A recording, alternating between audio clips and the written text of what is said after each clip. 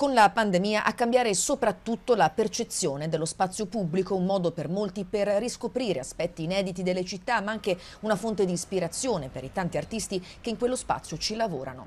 Una dimostrazione è il numero sempre maggiore di persone che decidono di partecipare agli street art tour. Nel caso di Roma si è raggiunto anche talvolta il doppio dei clienti abituali.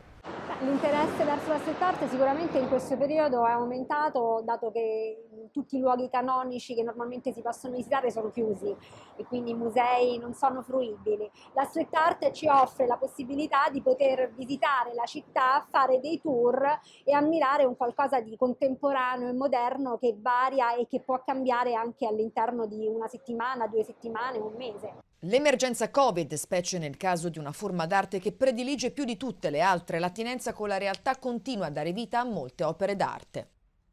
Quest'opera ispirata al tema Covid è stata realizzata all'epoca del primo lockdown nazionale, quando ancora le restrizioni erano in vigore. L'artista ha deciso di violarle ed è l'unica opera che è stata realizzata su ciò che resta di un acquedotto romano di 2000 anni fa. L'artista che ha deciso di restare anonimo racconta ad Euronews che cosa significhi per lui oggi lavorare al tempo del Covid. Il passato non è un un morto da tenere sotto vetro e da venerare.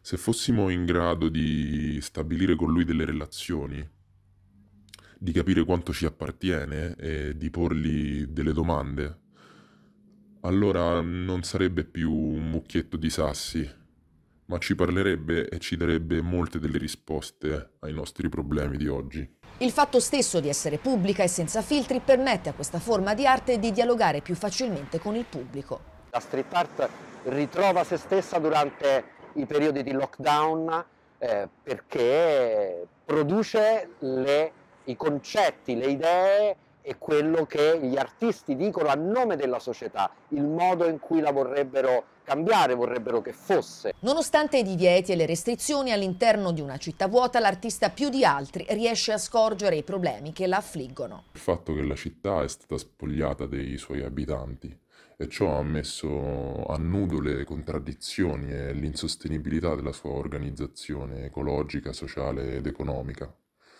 Eh, però questo è anche un momento quindi per uh, ripensare reinventare tutta la vita della città. La sfida del nostro tempo suggerita da un panorama urbano in continua evoluzione è proprio questa, capire come reinventare lo spazio cittadino dopo averlo riscoperto. Giorgia Orlandi, Euronews, Roma.